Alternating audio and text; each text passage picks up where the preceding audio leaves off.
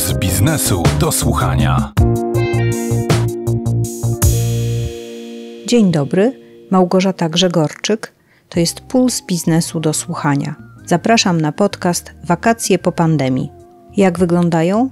Bez koronawirusa, ale za to z drożyzną i odwołanymi lotami. O czym rozmawiają w internecie polscy turyści, dowiemy się od Agnieszki Uby z Sentiwan. Zdradzę jedną rzecz. Pytają m.in. gdzie są hotele, w których nie spotkają Rosjan. Połowa Polaków w ogóle nie pojedzie na wakacje. Mimo to chętnych na wyjazdy zagraniczne z biurami podróży jest dużo, choć 3,2 miliona osób z 2019 roku pewnie nie uda się pobić, mówi Marzena Buczkowska-German z portalu wakacje.pl. Choć średnia cena wyjazdu jest o 800 zł wyższa niż rok temu, to marże turoperatorów spadną, przewiduje Piotr Henicz, wiceprezes Itaki. Czy Polacy jadą nad Bałtyk, nad którym w zeszłym roku można było sprzedać nawet schowek na szczotki? Na ten temat mówi Tomasz Machała, prezes nocowanie.pl. Dlaczego duże lotniska mają problemy i kiedy się one skończą? Tego dowiemy się od Grzegorza Polanieckiego, członka zarządu NTR, linii czarterowej, która w pandemii nie zwalniała pracowników. Zapraszam na podcast Wakacje po pandemii.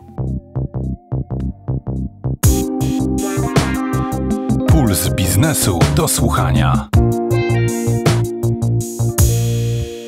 Codziennie słyszymy jakieś nowe badania o wakacjach, albo o tym, że Polacy na wakacje nie pojadą, bo drożyzna, inflacja, albo że jadą, ale nad morze, a nie w góry, albo że to wcale nie jest prawda, bo kwatery stoją w połowie puste, nadmorskie. Jak jest pomyślałam, że najlepiej będzie, jak podejrzymy, o czym Polacy rozmawiają w sieci. No i jest taka firma SentiOne, która ma technologię sztucznej inteligencji umożliwiającą monitoring internetowych rozmów. Więc podejrzyjmy może, o czym rozmawiają Polacy w temacie wakacji.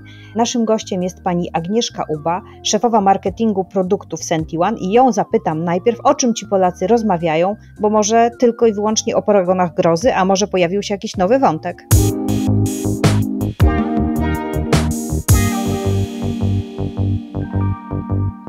Tak, ma Pani rację. Faktycznie analiza opinii internautów bardzo się przydaje, żeby zobaczyć, jakby sprawdzić taki puls e, społeczeństwa, dokładnie się dowiedzieć, o czym ludzie dyskutują, co ich martwi, co ich boli albo co ich cieszy. Monitoring internetu pozwala nam też wyjść poza naszą własną bańkę, czyli właśnie poza to, co nam się pokazuje na naszych feedach w social media e, i dokładnie widzimy, że to powiem, szerszy obraz społeczeństwa. I od początku tego roku e, na naszych radarach sentiłanowych żeśmy zauważyli od stycznia do lipca tego roku, że jest wiele e, wątków takich samych jak co roku, czyli co roku internauci faktycznie dyskutują o pogodzie. Tu mieliśmy ponad 8 tysięcy wzmianek a propos tego, że jednak lepsza i pewniejsza pogoda jest za granicą niż niepewne polskie morze. Do tego w tym roku nam jeszcze doszła cena wakacji, czyli to było de facto aż 12 tysięcy razy internauci dyskutowali o samej cenie wakacji. Tutaj też w kontekście rosnących cen paliwa, ale cen zakwaterowania, cen jedzenia i tutaj faktycznie powrócił temat paragonów grozy, są wręcz tutaj wyliczane na przykład oscypki w Zakopanem za 50 zł albo jagodzianki lub gofry nad Bałtykiem jako dobra luksusowe. No i z tego też nam wychodzi tutaj obraz idealnych wakacji, no bo idealne wakacje to jest tam, gdzie jest dobry stosunek ceny do pogody. I tu taki wniosek, że internauci jednak zalecają i deklarują, że raczej spędzą wakacje za granicą, ale w jakichś tańszych destynacjach, na przykład Albania albo na Cyprze i to też właśnie raczej tutaj z biurem podróży. Spytała Pani jeszcze o jakieś nowe wątki i tu faktycznie mamy nowości de facto smutne, bo po raz pierwszy, odkąd analizujemy opinię internautów, wyszły nam takie wątki w tym roku jak wakacje bez Rosjan. Polacy dopytują się dokładnie, gdzie, do których krajów lub też hoteli nie są wpuszczani turyści z Rosji. Tutaj też pada bardzo dużo negatywnego sentymentu, nie będę tego przytaczać, natomiast no, takie, takie są fakty, w ten sposób ludzie się wypowiadają w internecie. Mamy też wątek wakacji z COVID-em. To już powiedzmy się powtarza od trzech lat, natomiast tutaj sentyment troszeczkę zelżał, ponieważ już nie jesteśmy przerażeni mm, samym COVID-em, ale na przykład pojawiły się takie zapytania, gdzie mogę zostawić dziecko z COVID-em, bo ja jestem zdrowa i chcę pojechać na urlop. To pierwszy raz w tym roku takie pytanie? Tak, tak. Okej, okay, oswoiliśmy się z COVID-em, zostawiamy dzieci. Szukamy miejsca, gdzie możemy dziecko, my jesteśmy zdrowi, fajnie, chcemy sobie wyjechać na wakacje. Rok temu to było dużo strachu, było mnóstwo pytań o paszporty, certyfikaty i tak dalej. W tym roku no już jakby jak są dużo mniejsze restrykcje, no to już omijamy to jakoś w inny sposób. A nie zauważyli Państwo może, że właśnie te covidowe sprawy w ostatnich dniach znowu przybrały na sile, bo przyznam się, że zaczynam obserwować że ludzie w komunikacji miejskiej, niektórzy zaczynają znowu zakładać maski, tak? Słyszeliśmy, że te zachorowania rosną i że czeka nas kolejna fala, więc zastanawiam się, czy to już widać? To widać, ale jeśli już to dopytujemy, gdzie nie trzeba nosić masek, czy mogę jeszcze do Hiszpanii bez maski, bez testu i bez paszportu covidowego. Przez te trzy lata pandemii to już ci ludzie, którzy się zaszczepili, mają wszystkie certyfikaty i są przyzwyczajeni do testów, to już raczej nie wypowiadają się o tym w internecie. Więc naturalnie będę miała więcej takich negatywnych wypowiedzi albo właśnie jakby powiedzmy negatywnie nastawionych na temat wakacji z covidem. Wspominała Pani o tym, że zdecydowanie Polacy wolą pojechać z biurem podróży w jakieś miejsce, gdzie jest pewna pogoda, gdzieś za granicę i gdzie jest stosunkowo tanio. A czy jest jakieś biuro podróży, które ma szczególnie dobre opinie wśród internautów? Tak, zgadza się. Tutaj też żeśmy w naszej analizie porównali sobie e, kilka wiodących biur podróży w Polsce i najlepszymi opiniami, bo tutaj właśnie de facto porównujemy sentyment, jakby ilość wypowiedzi pozytywnych kontrastujemy do ilości wypowiedzi negatywnych. I de facto tutaj na czele nam się stawia Coral Travel. I to jest ciekawe, bo tutaj de facto przede wszystkim internaci i konsumenci chwalą sobie to, jak Coral Travel wyszło z powrotem do ludzi. Czyli jak właśnie po pandemii otwierają swoje biura, w swoich lokalach Coral Travel organizuje różne eventy, pogadanki, wychodzi do klientów, i tam też właśnie konsumenci e, bardzo chwalą sobie wzorową obsługę klienta, bardzo fajną ofertę cenową i takie prokonsumenckie podejście do klienta. I to się odbija i faktycznie Coral Travel ma aż 20% pozytywnego sentymentu, czyli najwięcej ze wszystkich biur podróży i też najmniej negatywnego sentymentu, bo tylko 2%. Inne biura podróży już e, nie mają aż tak wysoko pozytywnego sentymentu, tu jeszcze wysoko jest Itaka, na drugim miejscu 16% pozytywnego, a na przykład tutaj mogę dopowiedzieć, że najmniej powiedzmy powiedzmy chwaloną agencją ostatnio jest Rainbow Tours. Natomiast gdy analizujemy sobie wypowiedzi internautów, to trzeba spojrzeć na wszystkie czynniki, które mogą wpłynąć na tą opinię, bo o ile w przypadku Coral Travel to było na zasadzie, że bardzo chwalą usługę klienta, o tyle w przypadku Rainbow Tours to po prostu pojawiło się bardzo dużo negatywnych artykułów a propos Rainbow Tours, ponieważ tam wystąpił jakiś problem, jeśli chodzi o powrót turystów z zagranicy, jakieś anulowane loty i tutaj tego się pojawiło bardzo dużo publikacji i to od razu bardzo wpływa na właśnie negatywny sentyment. Coral Travel to jest biuro, które w zeszłym roku weszło do pierwszej trójki największych turoperatorów w Polsce, ale jeżeli nadal tak walczą o klienta, to podejrzewam, że mogą po prostu spróbować zawalczyć o drugą pozycję. Rainbow jest w tej trójce, chociaż właśnie w zeszłym roku został zastąpiony przez Coral Travel pod względem liczby obsłużonych klientów. A sprawdzacie też Państwo może zasięgi, o jakim biurze się pisze najwięcej, jakie biuro budzi najwięcej komentarzy? No tutaj mamy jednego lidera, tu i Polska generuje najwięcej zasięgów ze wszystkich biur podróży. Jest to aż 52% dyskusji o wszystkich biurach podróży w tym roku. No i tutaj dominacja jest też przede wszystkim na Facebooku. Następnie mamy właśnie Rainbow Tours i tutaj z kolei dużo jest wypowiedzi na Instagramie a na trzecim miejscu jest właśnie Itaka. A z czego to może wynikać? Z inwestycji w takie inne kanały, w social media? Prawdę mówiąc, jeśli chodzi o ilość kanałów, to wszystkie biura są dość, e, powiedziałabym, już na te czasy e, tradycyjne i standardowe, czyli jest to faktycznie Facebook, Instagram, blogi, fora internetowe. Jeszcze żadne biuro podróży nie zdecydowało się na TikToka, to tutaj podpowiem, jeśli ktoś nas słucha, to faktycznie TikTok generuje aktualnie najwięcej zasięgów. Natomiast sukces TUI, tutaj e, żeśmy sobie przeanalizowali, jest to przede wszystkim faktycznie faktyczne skupienie się na odbiorcy na ich kanałach komunikacji. Czyli TUI nie tylko informuje na przykład na swoim Facebooku o tym, że mamy ofertę last minute, ale też stara się edukować, dzielić się treściami informacyjnymi z klientami. Na przykład informują, gdzie można właśnie pojechać bez paszportu covidowego, gdzie można tylko na dowodzie osobistym, gdzie mamy dobrą pogodę, jakie są fajne wycieczki objazdowe dookoła Madery. No i też TUI robi takie bardzo typowo marketingowe, angażujące posty dla odbiorców. Na przykład był konkurs, podzielcie się ile Wam zostało dni do urlopu, odliczajcie razem z nami i to wygenerowało 290 komentarzy. Więc takie typowo właśnie kierowane do odbiorców, no i to działa. Jak to się robi regularnie, systematycznie, tydzień w tydzień, kilka razy w tygodniu, to naprawdę można wygenerować sobie ciekawe zasięgi. Też nie ukrywam, ma znaczenie, że faktycznie TUI jest y, bardzo dużym biurem podróży, więc to też tutaj pomaga, że już mają dość y, taką dużą bazę odbiorców. Pod względem przychodów w zeszłym roku byli największym biurem podróży w Polsce.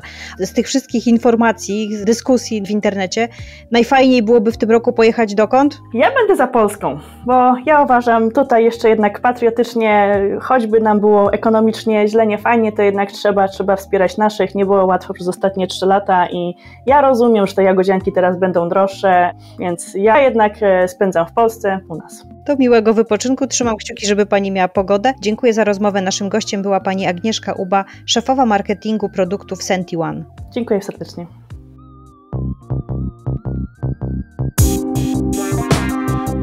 Puls biznesu do słuchania.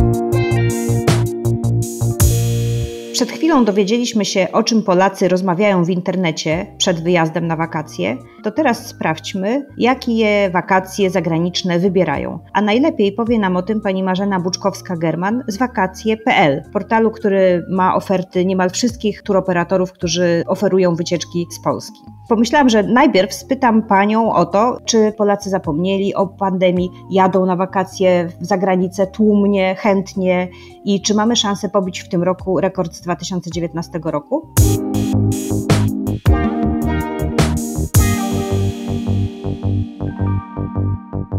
Tak, zapomnieliśmy mm, właśnie w takim ujęciu rynkowym o pandemii, chętnie wyjeżdżamy. Jesteśmy tych wyjazdów naprawdę spragnieni i właściwie możemy chyba mówić o tych podróżach z zemsty, które tak się po angielsku ładnie nazywają revenge travel, bo chcemy i wyjechać na wakacje, ale i też korzystamy z takich dodatkowych okazji w postaci przedłużonych weekendów.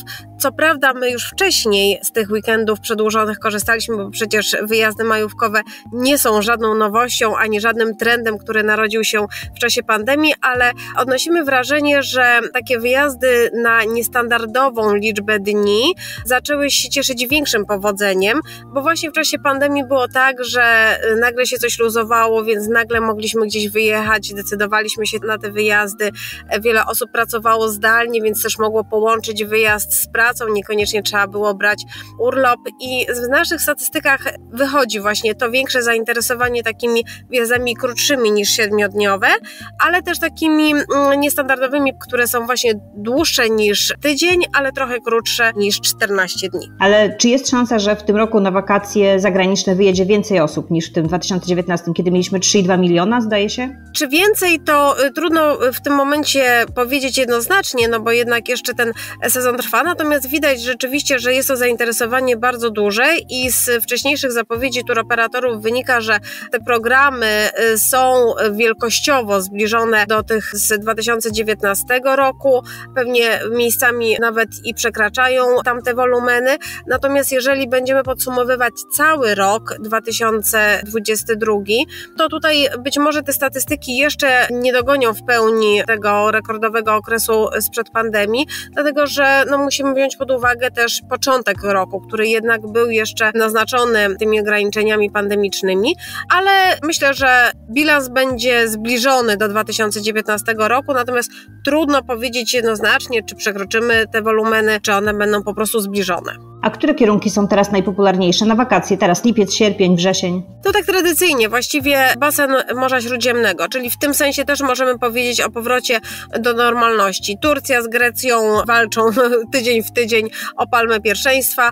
Są tygodnie, kiedy zwycięża Turcja, są tygodnie, kiedy ta szala popularności przechyla się bardziej w stronę Grecji. No na pewno takim dodatkowym czynnikiem, który powoduje, że Polacy do Turcji wyjeżdżają chętnie jest y, zmiana tych przepisów przepisów wjazdowych, to znaczy od kwietnia Polacy mogą podróżować na podstawie dowodu osobistego, więc jest to udogodnienie na pewno znaczące, ale tutaj od razu taka uwaga, pamiętajmy o tym, żebyśmy zawsze zabierali dokument tożsamości dla dziecka, bo nawet jeżeli my nie musimy mieć paszportu, no to dziecko musi mieć właśnie albo paszport, albo dowód osobisty.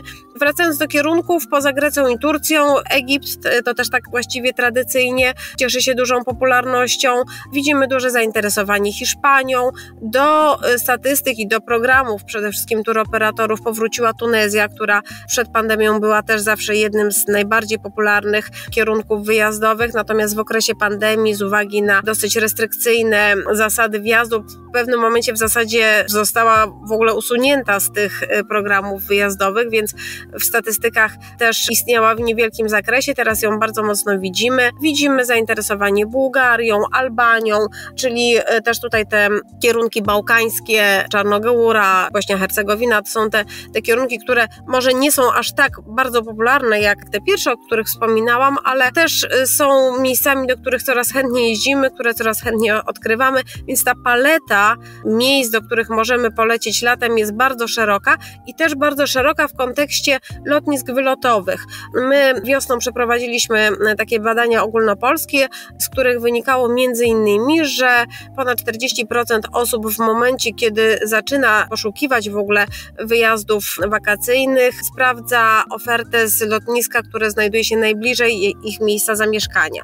No i właśnie w tym roku tych wyjazdów rozpoczynających się na lotniskach lokalnych jest bardzo dużo. Nawet bym rzekła, że jest ich coraz więcej, coraz bogatsza jest ta oferta. Na pewno duża jest popularność wyjazdów takich niestandardowych, ale w takim też sensie, że one są pakietowane dynamicznie, czyli mamy dostępność nie tylko ofert czarterowych, ale też przewoźników regularnych i tanich, i tych takich bardzo tradycyjnych. No i y, korzystamy też y, z dosyć szerokiej bazy hotelowej w tych kierunkach, do których są realizowane przeloty.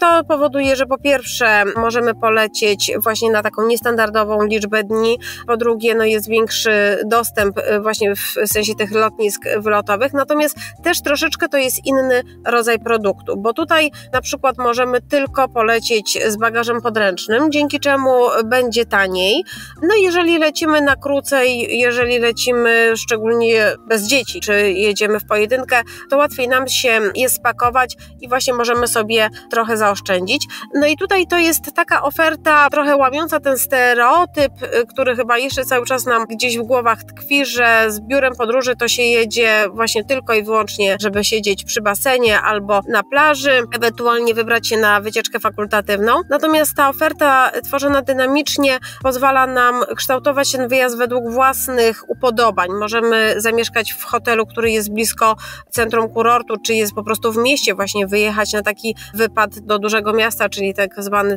city break i spędzić ten czas tak, jak nam się najbardziej podoba, jak tego najbardziej potrzebujemy, a jednocześnie korzystamy przy tym z tych wszystkich dobrodziejstw, które daje nam podróż zorganizowana, czyli zabezpieczenie na wypadek wystąpienia nieprzewidzianych okoliczności. To przypomnijmy tylko, że gdyby cokolwiek się wydarzyło, nie wiem, zostanie odwołany samolot, hotel się nie otworzy na czas, to wtedy biuro podróży ma odpowiedzialność całą za zrealizowanie tego programu i musi nam zapewnić jakieś świadczenia zastępcze, które będą w tym samym standardzie albo wyższym, albo zwrócić pieniądze, więc możemy pojechać na takie, powiedzmy w cudzysłowie, y, samodzielnie zorganizowane w czas i jednocześnie korzystając z tego wszystkiego, co ustawa o usługach turystycznych nam gwarantuje. Jest właśnie zainteresowanie takimi kierunkami, e, które do tej pory były znane i odkrywane przez Polaków raczej indywidualnie.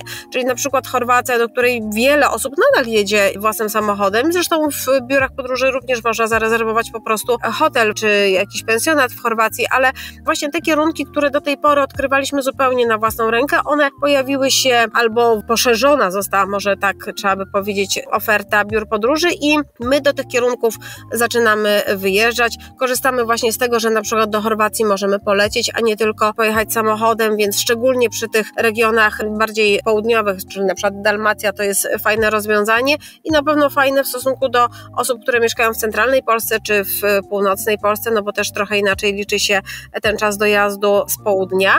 Widzimy też to, co pojawiło się w pandemii, czyli większe zainteresowanie kierunkami egzotycznymi. Przed pandemią było tak, że do dalekich krajów jeździliśmy właściwie tylko w okresie zimowym. I zresztą tak te programy turoperatorów były tworzone. Zimą, kiedy u nas jest brzydko, szaro i buro, lataliśmy na Karaiby, lataliśmy do dalekiej Azji, żeby się wygrzeć, żeby skorzystać z ciepłego morza i po prostu pobawić się w takim iście wakacyjnym stylu w środku zimy. Natomiast ponieważ w okresie pandemii, szczególnie w tym początkowym czasie, te kierunki egzotyczne, tak jak na przykład Dominikana czy Zanzibar, były otwarte na turystykę zagraniczną, no to wiele osób jeździło tam, powiedzmy tak, z konieczności, jakkolwiek by to śmiesznie nie zabrzmiało. I zobaczyliśmy, że mm, te dalekie kraje latem też są całkiem fajne, że wcale nie jest tak, że tam jest, nie wiem, za gorąco albo pogoda z jakiegoś innego powodu nam nie odpowiada, więc polubiliśmy te kierunki. Oczywiście, jeżeli teraz spojrzymy tak na statystyki, no to wiadomo, że ta Turcja, Grecja czy Egipt będą nadal budziły większe zainteresowanie niż Karaiby na przykład, ale te kierunki są w ofercie, latamy tam i w ogóle coraz chętniej też latamy do tych dalekich krajów. A jak jest last minute i first minute? Jeśli chodzi o last minute i first minute, to oczywiście w okresie pandemii raczej rezerwowaliśmy w ostatniej chwili, no bo po prostu towarzyszyła nam duża niepewność. Natomiast w tej chwili po raz kolejny przekonujemy się, że oferty kupowane z większym wyprzedzeniem, są tańsze i są atrakcyjniejsze, no bo po prostu mamy więcej tych ofert do wyboru. I w tym roku już widzimy po statystykach sprzedażowych, że rzeczywiście Polacy byli bardziej skłonni do tego, żeby kupować z większym wyprzedzeniem, nawet ponad 90 dni przed y, rozpoczęciem wyjazdu. I chyba coraz więcej osób przekonuje się, że to nie są tylko takie reklamowe slogany, kiedy turoperatorzy czy agenci mówią, że oferty last minute nie są już tak tanie, jak były kiedyś i że jeżeli ktoś czeka na lasta tylko dlatego, że chce zaoszczędzić, no to niestety się rozczaruje. Oczywiście są różne sytuacje w życiu, nie zawsze możemy zaplanować z dużym wyprzedzeniem, i zawsze w ostatniej chwili jakieś oferty znajdziemy i znajdziemy oferty tańsze i droższe. Natomiast jeżeli sugerujemy się ceną, kierujemy się ceną, a jeszcze lepiej powiedzieć stosunkiem ceny do jakości, no to na last minute nie ma co liczyć, bo one po prostu nie są już tak tanie, jak to było kilka lat temu. I widzimy, że Polacy to zaczynają rozumieć i jednak kupują coraz odważniej z większym wyprzedzeniem, szczególnie, że przy tym okresie przedsprzedaży mają dodatkowe korzyści, takie jak na przykład gwarancja niezmiennej ceny, gwarancja najniższej ceny. Można oczywiście wykupić ubezpieczenie od kosztów rezygnacji, do czego bardzo zachęcamy, no bo jednak jak planujemy z dużym wyprzedzeniem, no to mm, trzeba się zabezpieczyć na różne sytuacje. Ja zresztą też osobiście niestety przerobiłam, jak to w praktyce wygląda, bo tuż przed wylotem na ferie zimowe okazało się, że właśnie w rodzinie też się pojawił COVID i musieliśmy z dnia na dzień zrezygnować. Odzyskaliśmy całą kwotę wpłaconą na wakacje, więc no oczywiście było nam przykro, że nie możemy lecieć, no ale to już była sytuacja od nas niezależna, ale nie ponieśliśmy żadnej straty finansowej, więc zachęcamy do tego, szczególnie, że to nie są wysokie koszty, no w zależności oczywiście od ceny wyjazdu, one są obliczane, ale to jest z rzędu y, tam wydatek kilkudziesięciu czy kilkuset złotych na całą rezerwację. Bardzo dziękuję za opis rynku, za praktyczne porady, jak wyjechać na wakacje. Naszym gościem była pani Marzena Buczkowska-German z portalu wakacje.pl. Dziękuję bardzo. Puls biznesu do słuchania. Marzena German z portalu wakacje.pl powiedziała, że zagraniczne wycieczki sprzedają się świetnie, ale czy będzie lepiej niż w 2019 roku? Nie wie. Sprawdźmy, co na ten temat powie Piotr Henicz, wiceprezes Itaki, która w ubiegłym roku miała prawie pół miliona klientów z Polski, 1,6 miliarda złotych przychodów i 110 milionów złotych zysku netto. Czy to jest dobry rok?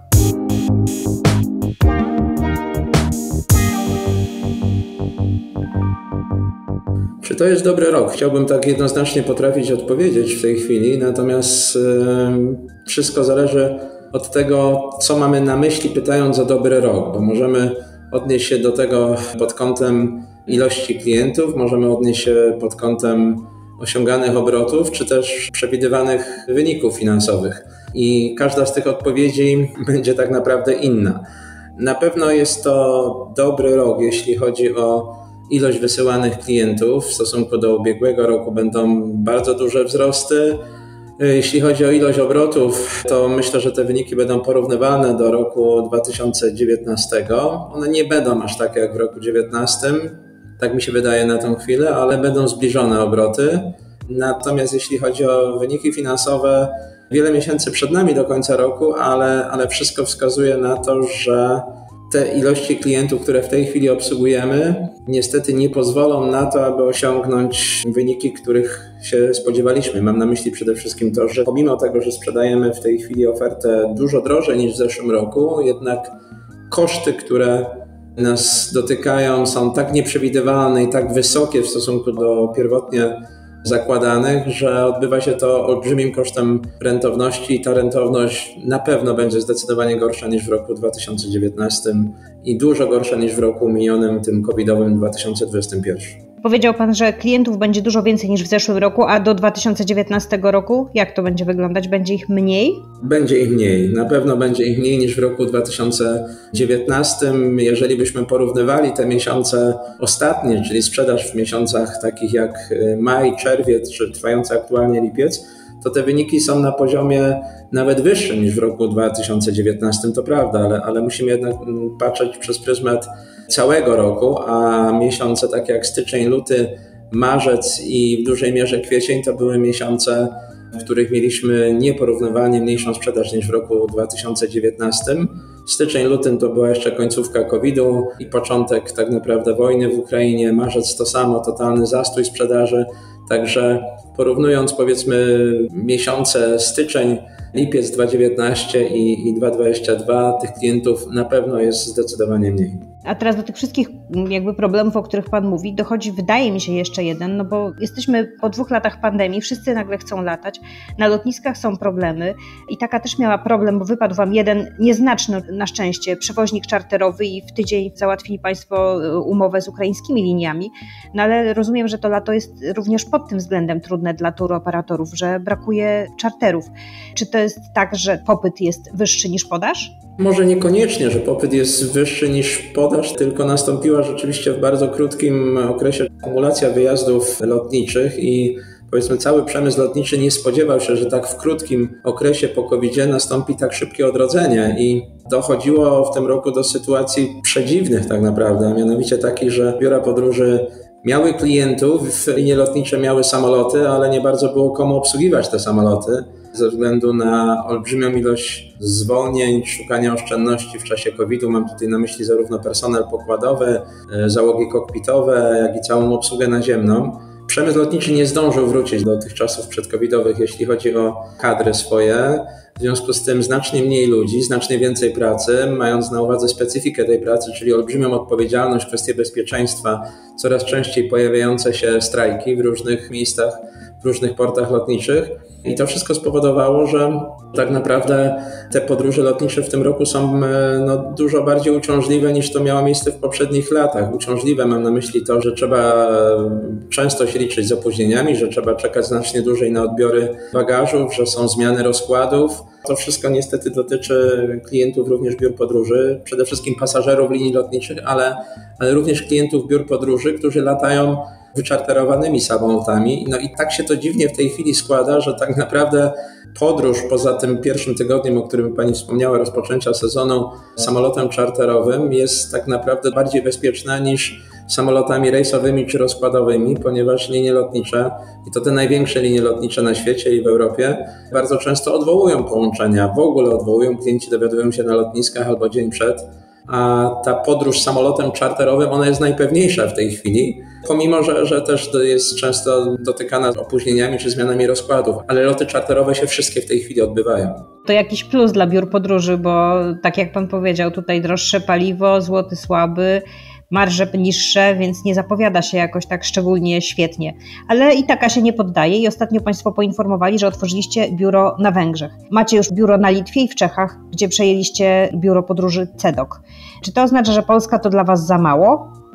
Używa Pani takiego określenia, zadając pytanie, że i taka się nie poddaje. To w ogóle takie stwierdzenie nie wchodzi w ogóle w grę. Jesteśmy od lat przygotowani na zarządzania kryzysowe i z tym sobie radzimy. Pewnie, że raz lepiej, raz gorzej. Cała sztuka polega na tym, żeby właśnie sobie w tych trudnych momentach radzić, a wtedy, kiedy jest wszystko fajnie, prosto, łatwo i przyjemnie, no to jest prosto zarządzać tak, firmą. Natomiast y, jeśli chodzi o naszą decyzję dotyczącą wejścia na rynek węgierski, tak, to jest, to jest konsekwencja powiedzmy naszej polityki i takiej polityki długofalowej. Podjęliśmy kilka, kilka lat temu decyzję, aby rozwijać się również na innych rynkach, na tych rynkach, w których możemy zaistnieć tak naprawdę. No, nie wchodzimy na rynek niemiecki z wiadomych powodów, czy rynek brytyjski, ale wchodzimy na te mniejsze rynki, do krajów ościennych i dzięki temu Dzięki takiej konsolidacji znacznie łatwiej nam jest kontraktować hotele za granicą. Jesteśmy o wiele poważniejszym partnerem dla hotelarzy, dla sieci hotelowych. W sytuacji, kiedy kontraktujemy miejsca na kilka rynków, to niewątpliwie jest duży atrybut naszej działalności, zwłaszcza, że kontraktowanie hoteli dla tych wszystkich rynków odbywa się za pośrednictwem nowej Itaki, czyli firmy mającej siedzibę w Polsce. To jeśli chodzi o działalność turoperatorską, Natomiast musimy też pamiętać, że Itaka od wielu lat prowadzi swoje firmy incomingowe w Turcji, w Hiszpanii, w Grecji, gdzie obsługujemy klientów, zarówno klientów Itaki, ale też klientów innych turoperatorów skandynawskich, brytyjskich i z jednej strony pozwala nam to na utrzymanie jakości w obsłudze polskich turystów, natomiast z drugiej no, stajemy się marką powiedzmy rozpoznawalną dla klientów z innych krajów. To jest też taki element, powiedzmy, budowania naszej marki, budowania wizerunku. Taką decyzję podjęliśmy bodajże chyba w 2010 roku, kiedy weszliśmy na rynek hiszpański z pierwszą incomingową firmą. Także to jest też jakaś taka ekspansja zagraniczna, nie tylko turoperatorska, ale również incomingowa. W Polsce i taka jest y, w czołówce, zawsze w pierwszej trójce. A jak jest y, na Litwie i w Czechach? W Czechach jesteśmy w tej chwili na trzecim miejscu. W poprzednim sezonie byliśmy. W tym roku walczymy o pozycję wyżej.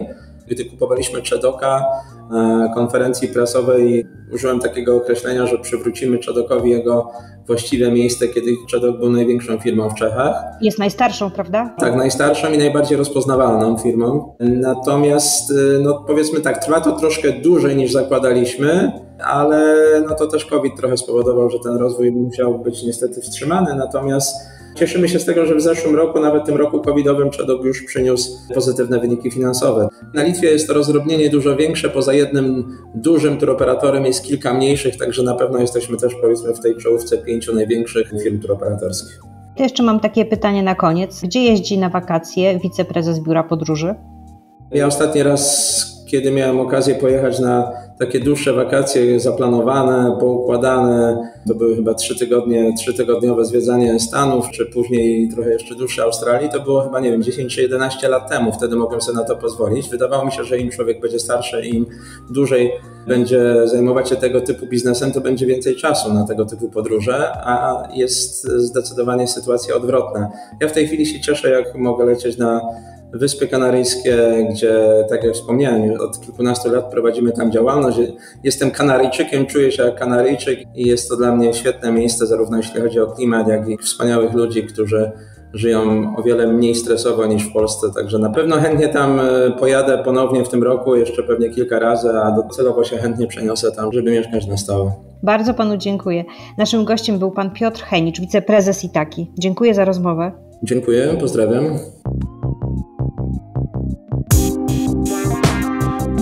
Puls biznesu do słuchania. Itaka miała niedawno problem, bo wypadł jej jeden operator czarterowy.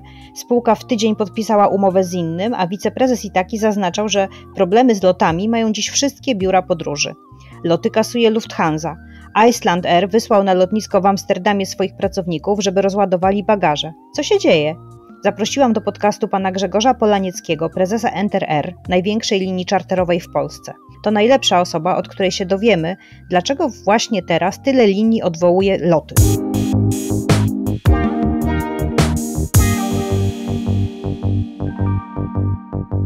Przyczyn tej sytuacji jest e, wiele. Przede wszystkim część operatorów, którzy operują na lotniskach, właścicieli lotnisk i, i różnych serwisów lotniskowych, prawdopodobnie nie spodziewało się tego, że rynek wróci do normalności tak szybko.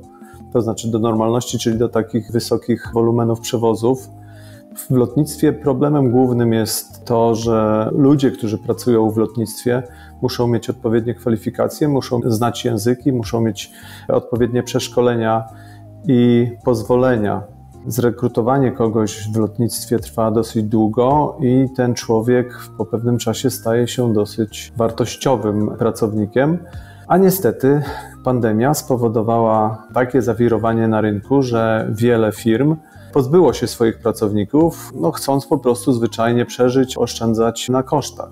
I to tak w tej chwili uderzyło jakby całą branżę, ten brak ludzi, że przepustowość lotnisk, przepustowość różnych serwisów jest na zbyt niskim poziomie i po prostu nie ma innego wyjścia, jak tylko docinać siatkę połączeń i, i te rejsy kasować. Ale czy to oznacza, że branża lotnicza miała złe prognozy, a ja ta źle prognozowała ten wzrost ruchu po pandemii? Oczywiście. Ja bym rzeczywiście wskazywał jako jedną z przyczyn e, prognozowanie przez różne instytucje, takie właśnie jak pani wymieniła, plus, nie wiem, Eurokontrola i tak dalej. Wszyscy twierdzili, że ruch będzie wracał bardzo, bardzo powoli do normalności i dopiero za 4 lata powoli zacznie się odbudowywać. No, my właściwie to byliśmy jedyną firmą, która twierdziła odwrotnie i która swoich ludzi ani nie zwalniała, ani nie redukowała swojej floty i tak dalej. Także byliśmy w sumie w przeciwnym trendzie do całego lotnictwa, a teraz wygląda na to, że rzeczywiście zrobił się z tego dosyć duży problem. No właśnie chciałam pana podpytać, bo Enter nie ma braków kadrowych, więc niech pan powie, jak państwo to zrobili. Przede wszystkim, tak jak powiedziałem na samym początku, w lotnictwie jest ciężko o bardzo dobrych ludzi. I ponieważ my e, bardzo cenimy i ceniliśmy swoich pracowników, szukaliśmy rozwiązań takich, żeby jednak nie trzeba było ich zwalniać. Zarząd zrezygnował ze swojego podstawowego wynagrodzenia, tym samym mógł poprosić pracowników o to, żeby oni zgodzili się na redukcję swojego wynagrodzenia, no bo właściwie są dwie drogi, tak? Albo zwolnimy połowę ludzi, albo obniżymy wynagrodzenia o połowę i efekt będziemy mieli ten sam. I powiem szczerze, że byliśmy bardzo mile zaskoczeni, że u nas, jak zarząd poprosił pracowników o to, żeby się zgodzili na 50% obniżki pensji, po to, żeby zachować pracę dla wszystkich swoich kolegów, tak, żeby nikogo nie trzeba było zwalniać. Ponad 800 osób, które pracuje u nas, wszyscy zgodzili się na to, żeby ograniczyć swoje wynagrodzenia po to tylko, żeby utrzymać wszystkich w pracy. Także może nawet jesteśmy jedyną firmą w Europie, której się tak udało. Natomiast no, ja rozumiem też inne firmy, które mają inne warunki, które no, musiały bardzo szybko, drastycznie ograniczyć swoje koszty i bardzo często było to wymuszone przez instytucje finansujące. Tak? Banki na przykład żądały jakiegoś programu restrukturyzacyjnego od danej firmy, czy to banki, czy jakieś instytucje państwowe wymagały takich restrukturyzacji i to były jedne z form, które były akceptowalne. Jak długo ludzie w Enterze, pracownicy Entera dostawali 50% pensji, a zarząd zero? Zarząd przez 6 miesięcy nie pobierał całkiem swojego podstawowego wynagrodzenia, natomiast pracownicy chyba też około 6 miesięcy czy dłużej. Potem było to podniesione na 65% wynagrodzenia, potem na 85%. Wszystko było uzależnione od tego, jak odbudowywaliśmy swój wolumen operacji. No i to było według mnie bardzo fair podejście z obu stron, tak? Ale rzeczywiście jesteśmy jesteśmy wdzięczni pracownikom, że oni w ten sposób do sprawy logicznie i rozsądnie podeszli. Ale wróciliście Państwo do pensji sprzed pandemii? Tak, oczywiście. Nie tylko wróciliśmy do tamtych pensji, ale jeszcze daliśmy podwyżki, no bo my, my zarządzamy spółką w ten sposób, że jakby dzielimy się wszystkim, co nam się udaje osiągnąć dobrego, więc to nie jest tak, że próbujemy kogoś tutaj wycisnąć, tylko tyle, ile mamy, tym się dzielimy. Enter nie ma problemów kadrowych, ale przecież lotniska, na które latacie, pewnie mają, więc się zastanawiam, czy te kłopoty, które dotykają wszystkie linie całą branżę lotniczą, mają też wpływ na Enterer? Problemów jest dużo, z tym, że my trochę tak e, przewidywaliśmy, że taka sytuacja może się zdarzyć bo widzieliśmy, jaki jest potencjalny popyt, jak ludzie spragnieni tego powrotu do latania. Zresztą nie, nie, chodzi tylko o to, że ludziom się chciało latać, ale wiele biznesów, wiele firm zawiesiło odwiedziny u swoich kontrahentów na pewien okres, więc my jakby stawialiśmy na to, że raczej ten rynek odbuduje się dosyć dynamicznie. On jeszcze nie wrócił w wielu miejscach do 100% roku 2019, ale jakby wiedzieliśmy, że on się odbuduje bardziej dynamicznie niż to było przewidywane. I zwęszyliśmy, że potencjalnie będą e, z tym problemy. Dlatego też nawet jeszcze chyba w marcu zaczęliśmy układać swoje odloty w taki sposób, żeby nie pchać się tam, gdzie są spiętrzenia, żeby nasze akurat godziny odlotów były poza tym spiętrzeniem. No bo jeśli jakiś port ma problemy z obsadą, to głównie będzie miał problemy właśnie w tym spiętrzeniu wszystkich odlotów. Jak są porty hubowe, w których mamy spiętrzenie przylotów i odlotów, no bo każdy człowiek, który przelatuje przez hub, chce w nim spędzić maksimum tam, nie wiem, 40 minut, czyli od przylotu do odlotu musi być niewielka odległość czasowa, w związku z tym robią się takie fale przylotowo-odlotowe, to my staraliśmy się omijać te fale, dlatego też dzisiaj nie mamy aż takiego dużego problemu. No zdarza się, że niestety nie ma obsługi do tego, żeby rozładować bagaż, bo ta obsługa idzie na pierwszy ogień, żeby załadować bagaż, żeby samolot odleciał, a rozładowywanie samolotu, który będzie stał już, no to jest dla nich drugorzędna rzecz. No jest to naprawdę kryzysowa sytuacja w tej chwili, ale powiem szczerze, że z tego co obserwuję tutaj z raportów y, operacyjnych, to my no jakby tą suchą stopą przechodzimy. Na razie nic takiego wielkiego nam się nie przydarzyło i niczego nie kasujemy, no bo nie wyobrażam sobie, żeby linia lotnicza skasowała komuś wakacje, tak? Zobowiązaliśmy się do tego, że pana zawieziemy, czy tam państwa zawieziemy i przywieziemy. Nie możemy powiedzieć nagle, sorry, ale nie ma ludzi, nie lecimy, radźcie sobie sami ale swoich ludzi do rozładowania bagażu pasażerów nie musiał pan na razie wysyłać. Tak, na razie na szczęście nie, nie musieliśmy. Na szczęście mamy tak podpisywane kontrakty, że wszystko działa. Bo jeszcze jeden element, na przykład y, myśmy widzieli, że w wielu firmach brakuje, szczególnie w Wielkiej Brytanii, personelu, to też wybieraliśmy tych agentów handlingowych, tych agentów naziemnych, którzy na przykład dopiero zaczynali działalność i mieli ludzi świeżo po naborach i tak dalej. Także no nie musieliśmy jeszcze aż tak drastycznych środków podejmować. Na razie wszystko idzie ok, nie jest źle. A ile Pana zdaniem zajmie czasu branży lotniczej, żeby się odbudować i mieć tylu ludzi, ilu potrzeba? To nie będzie zbyt długo według mnie, no bo jest tutaj kilka elementów rzeczywiście problematycznych, ale generalnie myślę, że pół roku to jest wystarczająco do tego, żeby kogoś zrekrutować, przeszkolić, sprawdzić jego przeszłość taką potencjalnie kryminalną, tak, no bo e, każdy pracownik lotnictwa musi mieć czystą kartotekę, musi mieć nieskalaną opinię i tak dalej, więc e, te procedury dosyć długo trwają. One czasami właśnie bardzo opóźniają te procesy rekrutacyjne, jeżeli na przykład ktoś chce zatrudniać obcokrajowców, więc to bardzo ciężko jest wtedy przeprowadzić szybko i sprawnie tą całą procedurę. Natomiast problem jest nadal i będzie duży problem, bo to, co słyszę z branży, to sytuacja z pracownikami jest taka, że oni nie chcą wracać. W ogóle nikt nie chce wracać do lotnictwa, bo mówi, lotnictwo jest pracą niestabilną. No bo jak się wydarza kryzys, to wy wszystkich zwalniacie. W związku z czym też jest niechęć pracowników do wiązania się z pracodawcami w tej branży. No i to jest y, problem, który no, będzie się jakby naprawiał przez długie lata. Ale pan powiedział pół roku, to znaczy jeszcze pół roku, czyli całe wakacje jeszcze po wakacjach? Nie, ja myślę, że te firmy, które w tej chwili mają te braki, oni się zorientowali już kilka tam tygodni temu, że będzie problem. Więc nie, oni już nad tym pracują od jakiegoś czasu. Ja sam teraz leciałem przez Heathrow, to powiem, że już widzę dużą poprawę w porównaniu z tym, co było na przykład nawet dwa tygodnie temu. Skoro Enter się wykazał tym, że potrafi dosyć trafnie przewidywać, co się wydarzy, to niech pan powie, jak będzie rósł ruch lotniczy w przyszłych latach?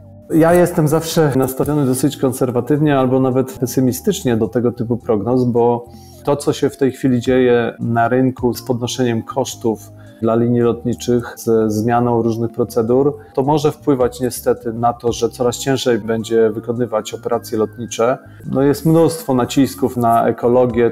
Nie wiem dlaczego na przykład lotnictwo jest piętnowane jako nieekologiczne. Jeśli porównać ile się spala CO2 na jednego pasażera, który podróżuje innymi środkami transportu, to my naprawdę wychodzimy tam 50% lepiej, bo my jesteśmy masowym transportem. My zabieramy 189 pasażerów. Samolot samoloty są przeważnie pełne, więc my naprawdę jesteśmy bardziej efektywni. Oczywiście, jak ktoś będzie porównywał jakieś przeloty, gdzie, nie wiem, leci 100-miejscowy samolot i 15 pasażerów na ten samolot wsiada, to oczywiście nie da się tego obronić. Natomiast jest w tej chwili dosyć dużo nacisków takich, które powodują, że to latanie jest coraz trudniejsze i coraz droższe.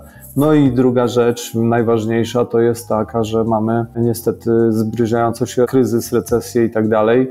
To może spowodować, że ta dostępność pieniędzy dla potencjalnych pasażerów w ich portfelach może się na tyle skurczyć, że jednak ten popyt y, spadnie. Także to są zagrożenia. Natomiast My jako NTRN na to nie patrzymy wcale tak bardzo negatywnie i pesymistycznie, nawet jak patrzę na polskich przedsiębiorców różnych, bo to, z czym my się borykamy od kilku lat, to jest problem wejścia na bogate rynki zachodnie, a gdy przychodzi kryzys, to okazuje się dla nas szansą, tak? No bo każdy wtedy w kryzysie, tam gdzieś w Niemczech, w Skandynawii, w Wielkiej Brytanii, Francji, nagle zaczyna szukać tańszej alternatywy, tańszej usługi. I my dzięki temu na przykład kiedyś weszliśmy właśnie do Francji i Wielkiej Brytanii, gdy tam było kryzysowo, wtedy nagle okazało się, że my jesteśmy solidnym partnerem za dużo mniejsze pieniądze niż oni mają lokalnie. I tak może być też dla wielu polskich firm, które są gotowe na wyjście na rynki zagraniczne. Więc relatywnie dla nas może być całkiem ok, natomiast tak globalnie uważam, że jednak rynek może trochę usiąść. Bardzo panu dziękuję. Naszym gościem był pan Grzegorz Polaniecki, prezes NTRR, największej linii czarterowej w Polsce. Bardzo również dziękuję za rozmowę.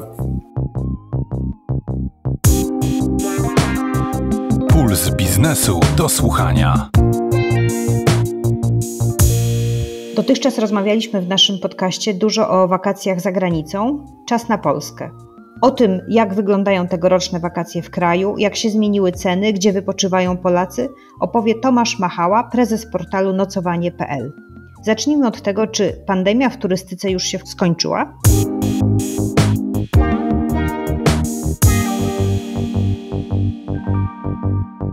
Zależy gdzie, dlatego że na przykład w wyjazdach zagranicznych, gdy patrzymy na te dantejskie sceny, które dzieją się mm, no na szczęście nie na polskich lotniskach, ale na tych głównych lotniskach na świecie, no to dowiadujemy się, że obłożenie lotów, linii lotniczych i lotnisk jest na mniej więcej poziomie 85% przed pandemią. Tam problemem jest to, że liczba obsługi jest na poziomie poniżej 70%. No natomiast 85% biznesu, lotów, ruchu turystycznego oznacza, że pandemia w turystyce jeszcze się nie skończyła. Także w kraju, biorąc pod uwagę to rozchwianie rynku, te gwałtowne przyrosty turystów w 2021, teraz jakiś odpływ turystów z turystyki krajowej w stronę zagraniczną w tym roku. No widać, że COVID, choć nie impaktuje bezpośrednio możliwości wyjazdu za granicę, nie ma obostrzeń, nie ma maseczek, ale wpływa na taką gwałtywność e, tego rynku, na, na pewną nieporównywalność zjawisk, na trudności z przewidzeniem, z planowaniem tego, co się będzie działo. Wpływa oczywiście także na tą ostrożność turystów. Dziś Widzimy to w turystyce krajowej, widzimy to w nocowaniu. Ludzie dużo bardziej niż przed pandemią są ostrożni w kontekście procentu zaliczki, jaki są gotowi wysłać do obiektu, tej polityki anulowania przyjazdu. Chcą mieć dużo bardziej niż wtedy elastyczne zasady, móc jak najbliżej dnia wyjazdu do obiektu móc odwołać, najlepiej bezkosztowo i preferują tego rodzaju obiekty, które taką możliwość dają, więc to wszystko jest wpływem COVID-u, nie takim bezpośrednim, ale niewątpliwie pośrednim na rynek. Czyli rezerwacji na portalu nocowanie.pl jest mniej niż w zeszłym roku, niż w 2019? To dotyczy nie tylko nocowania, to dotyczy całego rynku, wszystkich naszych, według mojego oglądu tego biznesu, konkurentów na tym krajowym rynku. My widzimy, że po niebywałym roku 2021, w którym to zamknięte granice, obawy o wyjazd zagraniczny, no bardzo mocne obawy, że turystyka zagraniczna wiąże się z ryzykiem kwarantanny na miejscu. To wszystko spowodowało lawinę wyjazdów krajowych. No, ten rok się absolutnie w tym roku nie powtarza. Właściciele obiektów powiedzieli mi, gdy byłem nad morzem biznesowo kilka tygodni temu, że o, w zeszłym roku w Polsce nad morzem był w stanie, mówi mi jeden, wynająć schowek na szczotki i to po dowolnej cenie. W tym roku nad morzem schowka na szczotki po dowolnej cenie już się nie da wynająć, przynajmniej nad polskim morzem, no bo też zdajemy sobie sprawę, że turystyka zagraniczna w tym roku zupełnie inaczej pracuje niż w zeszłym. Zeszły rok był słaby dla turystyki zagranicznej, ten rok jest no, wspaniały, jest niesamowity, jest, jest absolutnie rekordowy. Polacy mają ciekawe zachowanie. Ja czytam, że w obliczu zbliżającej się depresji gospodarczej, recesji, w otoczeniu wysokich stóp procentowych, Amerykanie oszczędzają, inwestują na giełdzie, licząc na to, że teraz kupują akcje tanio więc w przyszłości wzrost kursów spowoduje, że e, zarobią dobrze, więc wszystkie nadwyżki kapitału no teraz chętnie lokują na Wall Street. Polacy jakoś inaczej, to znaczy wiedząc, że będziemy mieli mniej pieniędzy, Polacy postanowili więcej wydawać i to w otoczeniu wysokich stóp procentowych i w otoczeniu wysokich kursów walut. No to jest ciekawe zachowanie, takie zastaw się, a postaw się. Jeśli chodzi o wyjazdy krajowe jeszcze, to chociaż ten rok jest niewątpliwie słabszy od zeszłego, to od 2019 roku, a to był do tej pory rekordowy rok pod względem wyjazdów, taki szczyt polskiego boomu w turystyce krajowej, to ten 22 rok jest lepszy. Więc benchmarkując się do poprzedniego jest gorzej, benchmarkując się do poprzednich lat jest nadal lepiej. A czy w związku z tym, że mamy mniej wyjazdów niż w zeszłym roku, to co się wydarzyło z cenami nad polskim morzem w górach? No bo mamy dużą inflację, no ale skoro jest mniej turystów, czy to oznacza, że te ceny może nie poszły tak mocno w górę jak inflacja? Myślę, że jest mniej wyjazdów także dlatego, że ceny poszły w górę. Może ta strategia, że jeśli będę sprzedawał taniej, to sprzedam więcej i w związku z tym zarobię więcej, ona się chyba nie przyjęła w tym roku wśród polskich właścicieli obiektów, ale też poza żartami jest tak, że ja sobie zdaję sprawę, jako też no, człowiek pracujący w biznesie, że trudno jest ten biznes spiąć, coraz trudniej w otoczeniu właśnie stóp procentowych, kolosalnych podwyżek cen energii. One bardzo właścicieli obiektów noclegowych uderzyły oraz w tak ogromnym deficycie tej siły roboczej. Po prostu pracowników jest, jest bardzo mało, oczekiwania finansowe są bardzo wysokie w związku z tym spięcie tego biznesu jest trudne, co oczywiście impaktowało ceny. Myślę, że te takie najbardziej łaskawe dla ucha prognozy mówią o kilkunastoprocentowym wzroście. Te bardziej realistyczne cen, myślę, mówią o 20-30 w tym przedziale procentowym wzroście. No więc jest tak, że od lat były te nagłówki o paragonach grozy nad polskim morzem. No to pewnie można by powiedzieć, że to już nie są tylko paragony grozy, tylko to są po prostu rachunki grozy. No niestety, no ale to dotyczy w ogóle turystyki jako takiej, nie tylko krajowej, bo no, jak euro jest niemal najdroższe w historii, no to oczywiście to oznacza także, że i paliwo lotnicze tam jest po 1200 dolarów za tonę, a było po 800, no to oczywiście oznacza, że wszędzie jest po prostu w tym roku bardzo drogo. Widać to w statystykach, widać, że ponad 50% Polaków zdecydowało się zostać w domu, nie brać wakacji, nie wyjechać. W nocowaniu też widzę z tego wyjazdu nad morzem, widziałem dwa pensjonaty. Jeden miał pokoje po 200, 250 zł, drugi miał pokoje po 900 zł. Oba należały do tego samego właściciela, po prostu były w kompletnie różnym standardzie.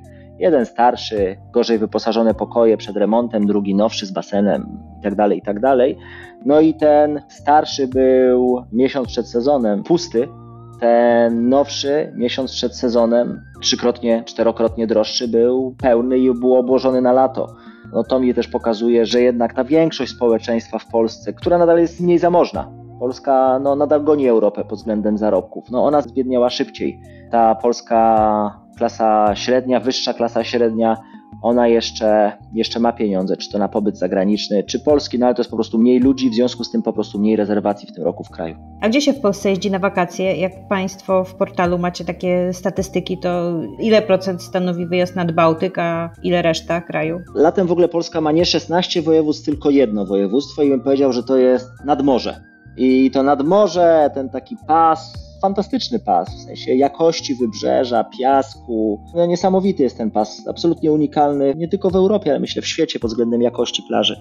To nad morze to jest dobre pytanie o procencie, to znaczy jak patrzę tak biznesowo, w sensie skąd pochodzi przychód, ponad 70% naszego przychodu pochodzi z nadmorza w tych miesiącach e, letnich.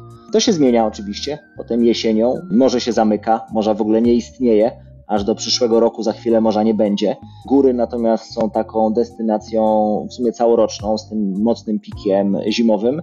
Natomiast no lato to jest, to jest morze, morze, morze, morze i to jest krótki sezon, no bo to jest co 2,5 miesiąca, ale rzeczywiście jest kolosalnie dużo pieniędzy nad polskim morzem, kolosalnie dużo zainteresowania, bardzo dużo turystów. To biznesowo to jest mekka to by do tej Mekki Polacy wrócili w przyszłych latach. Może niekoniecznie do schowków na szczotki, tylko do fajnych obiektów, w których fajnie częściej spędza czas. Bardzo panu dziękuję za informacje, za rozmowę. Naszym gościem był pan Tomasz Machała, prezes portalu nocowanie.pl. Dziękuję bardzo. Puls biznesu do słuchania. To już koniec naszego podcastu Wakacje po pandemii, a Państwo już po czy przed wakacjami? Może warto skorzystać i skoczyć nad Bałtyk, skoro tłumów nie ma? A może Tunezja, która wróciła po pandemii? Ja właśnie zaczynam urlop. Usłyszymy się dopiero we wrześniu, a za tydzień Mirek Konkel opowie o szefie na wakacjach. Wszystkie nasze podcasty znajdziecie w aplikacjach np. SoundCloudzie czy Ankorze albo na pb.pl łamane przez podcasty. Dziękuję za dziś, do usłyszenia.